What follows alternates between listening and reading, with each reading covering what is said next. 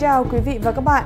Mời quý vị và các bạn cùng theo dõi bản tin 6 giờ của TV Tuần San, tvtsonline.com.au. Sau đây là một số tin chính đáng chú ý. Việt Nam yêu cầu Trung Quốc ngừng đưa tàu du lịch tới Biển Đông, phản hồi động thái mới nhất của Bắc Kinh nhằm củng cố yêu sách của Trung Quốc trong tuyến đường thủy chiến lược.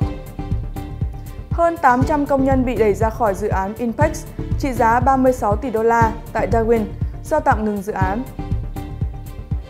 Ngoại trưởng Mỹ Rex Tillerson chính thức thăm Nhật Bản ngày hôm nay, bắt đầu chuyến thăm ba nước Đông Á lần đầu tiên trên cương vị mới. Thưa quý vị và các bạn, hôm thứ Hai, Việt Nam yêu cầu Trung Quốc ngừng đưa tàu du lịch tới Biển Đông, phản hồi một trong những động thái mới nhất của Bắc Kinh nhằm củng cố yêu sách của Trung Quốc trong tuyến đường thủy chiến lược. Hồi đầu tháng này, một chiếc tàu du lịch Trung Quốc chở hơn 300 hành khách đã đến thăm quần đảo Hoàng Sa, nơi Việt Nam cũng tuyên bố chủ quyền. Người phát ngôn viên Bộ Ngoại giao Việt Nam Lê Hoài Bình nêu rõ, Việt Nam phản đối mạnh mẽ điều này và yêu cầu Trung Quốc tôn trọng chủ quyền của Việt Nam đối với quần đảo Hoàng Sa và luật pháp quốc tế, lập tức chấm dứt và không tái diễn những hoạt động đó nữa. Trung Quốc tuyên bố chủ quyền trên hầu hết khu vực Biển Đông giàu năng lượng. Brunei, Malaysia, Philippines, Việt Nam và Đài Loan cũng tuyên bố chủ quyền trên vùng biển có lưu lượng thương mại hàng hải đi qua, hàng năm lên đến khoảng 5.000 tỷ đô la. Những chuyến hải hành đầu tiên của Trung Quốc tới quần đảo Hoàng Sa là vào năm 2013. Cảnh sát Kuala Lumpur vừa triệt phá một nhóm buôn bán ma túy dưới hình thức cà phê 3 trong 1 tại Cheras vào cuối tuần qua. Tại cuộc họp báo ngày 13 tháng 3, người đứng đầu cơ quan cảnh sát điều tra chống tội phạm ma túy thành phố Kuala Lumpur cho biết, cảnh sát ban đầu bắt giữ một người đàn ông 27 tuổi, sau đó bắt tiếp 4 đối tượng, trong đó có hai người phụ nữ Việt Nam tại một căn hộ. Cảnh sát đã thu giữ hơn 1.200 gram thuốc lắc dạng bột, 41 viên nang chứa bột thuốc lắc, 187 viên thuốc lắc sau khi khám xét nơi ở của các đối tượng. Phương thức hoạt động của các đối tượng là nghiền nát ma túy, sau đó cho vào các gói cà phê 3 trong 1 để bán cho các con nghiện tại các trung tâm giải trí của thủ đô. Tất cả các đối tượng sẽ bị tạm giam 7 ngày để phục vụ công tác điều tra theo luật pháp của Malaysia. Và tiếp theo là một số tin tức nước Úc. Hơn 800 công nhân đang bị đẩy ra khỏi dự án Impex trị giá 36 tỷ đô la tại Darwin. Lang O'Rourke, đại diện cho hãng công nghiệp Kawasaki Heavy, có hợp đồng xây dựng thùng lạnh tại khu vực dự án Impex. Đây là một trong những hợp đồng lớn nhất trong dự án này. Tuy nhiên, một mâu thuẫn về hợp đồng giữa Lang O'Rourke và Kawasaki Heavy đã khiến dự án bị tạm ngừng.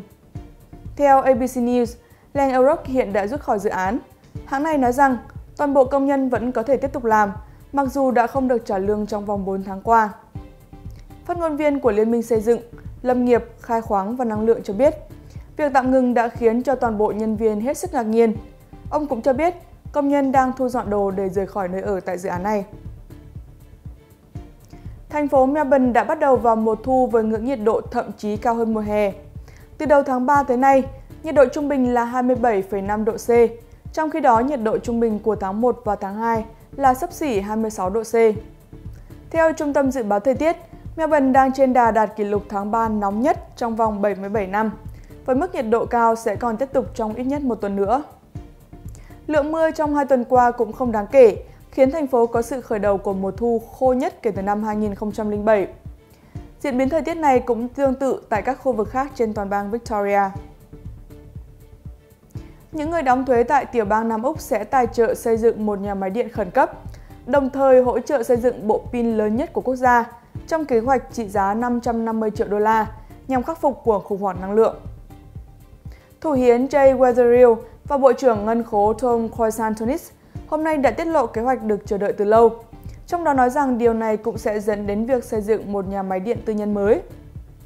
Bộ trưởng Năng lượng Liên bang George Frydenberg đang tìm kiếm những lời khuyên về pháp lý trong việc liệu quyết định của chính quyền bang về việc tự đi một mình có vi phạm các quy tắc của thị trường điện quốc gia hay không. Và cuối cùng là các tin tức thế giới đáng chú ý. Ngoại trưởng Mỹ Rex Tillerson chính thức thăm Nhật Bản ngày hôm nay, bắt đầu chuyến thăm ba nước Đông Á lần đầu trên cương vị mới. Ông Tillerson dự kiến sẽ phải đối diện với nhiều thách thức trong việc điều chỉnh mối quan hệ với ba nước Nhật Bản, Hàn Quốc và Trung Quốc khi mà những căng thẳng tại khu vực Đông Bắc Á này đang ngày càng leo thang. Theo Reuters, chuyến công du châu Á của ông Tillerson nhằm mục đích thảo luận tình hình Triều Tiên sau những vụ phóng tên lửa của Bình Nhưỡng và nghi án ông Kim Jong Nam, anh cùng cha khác mẹ của lãnh đạo Triều Tiên Kim Jong Un, bị sát hại tại Malaysia. Ngoại trưởng Mỹ cũng dự kiến sẽ thảo luận về những căng thẳng với Trung Quốc xung quanh hệ thống phòng thủ tầm cao giai đoạn cuối mà Mỹ vừa triển khai đến Hàn Quốc đầu tháng này. Theo lịch trình, ông Tillerson sẽ hội đàm với hai người đồng cấp Nhật Bản và Hàn Quốc. Tại Bắc Kinh, ông sẽ hội đàm với Bộ trưởng Ngoại giao Vương Nghị và có thể gặp Chủ tịch Tập Cận Bình. Hai bên cũng sẽ dự kiến thu xếp một cuộc gặp thượng đỉnh giữa ông Tập và Tổng thống Donald Trump tại Mỹ sớm nhất vào tháng 4 tới. Thủ tướng Iraq Haidar al-Bani ngày 14 tháng 3 tuyên bố chiến dịch quân sự giải phóng khu vực phía tây thành phố Mosul khỏi nhóm khủng bố IS đang ở giai đoạn cuối cùng. Phát biểu trong một cuộc họp báo tại thủ đô Baghdad, Thủ tướng al-Abadi tái khẳng định cam kết rằng các tay súng còn lại của IS sẽ được đưa ra xét xử công bằng nếu đầu hàng. Tuy nhiên, những phần tử tiếp tục chống lại các lực lượng Iraq sẽ bị tiêu diệt. Người đứng đầu chính phủ Iraq khẳng định số người rời bỏ nhà cửa đi sơ tán do lo ngại giao tranh tại Mosul sẽ không tăng lên. Chiến dịch tổng lực nhằm giải phóng thành phố Mosul đã được phát động từ tháng 10 năm 2016. Đến nay, phần phía đông thành phố đã được giải phóng. Hôm qua, ngày 14 tháng 3 theo giờ Úc, Quốc hội Anh đã bỏ phiếu thông qua dự luật về việc Anh rời khỏi Liên minh châu Âu EU, hay còn gọi là Brexit. Quyết định này chính thức mở đường cho chính phủ của Thủ tướng Theresa May thông báo với các lãnh đạo của EU về kế hoạch Anh rời khỏi liên minh này. Hãng tin BBC nhận định, với quyết định này, Thủ tướng Anh Theresa May có thể sẽ tự do ấn nút khởi động các cuộc đàm phán để Anh rời khỏi Liên minh châu Âu vào bất cứ thời điểm nào. Theo kế hoạch, Thủ tướng Anh sẽ chính thức công bố quyết định Brexit vào ngày 29 tháng 3 tới, khởi động tiến trình đàm phán giữa Anh và Liên minh châu Âu, dự kiến kéo dài 2 năm. Tuy nhiên, bà May từng thể hiện rõ lập trường rằng Anh sẽ sẵn sàng rời khỏi Liên minh châu Âu mà không cần bất kỳ thỏa thuận nào, một khi phía Liên minh châu Âu gây sức ép. Theo bà May, một kịch bản Brexit cứng còn hơn là chấp nhận những thỏa thuận thua thiệt với Liên minh châu Âu. Cũng trong ngày hôm qua, Tòa án Công lý châu Âu ECJ đã cho phép các công ty ở châu Âu có thể cấm nhân viên mặc các trang phục tôn giáo hay đeo các biểu tượng chính trị, bao gồm cả khăn trùm đầu của người Hồi giáo, đến nơi làm việc. ECJ ra phán quyết nêu rõ điều này không bị coi là phân biệt đối xử. Quyết định trên nhận được cả ý kiến phản đối và ủng hộ. Tổ chức Ân xá Quốc tế cho rằng phán quyết của ECJ sẽ chỉ cổ suý cho hành động phân biệt đối xử. Trong khi đó, thủ lĩnh Đảng Nhân dân châu Âu lại hoan nghênh quyết định này, coi đây là chiến thắng của những giá trị châu Âu. Việc mặc trang phục tôn giáo, đặc biệt là các trang phục mang tính biểu tượng của đạo hồi như khăn trùm đầu, đã trở thành vấn đề nóng trong bối cảnh chủ nghĩa dân tộc đang gia tăng và có lúc nhiều người đã công khai chống lại những người Hồi giáo nhập cư ở khắp châu Âu.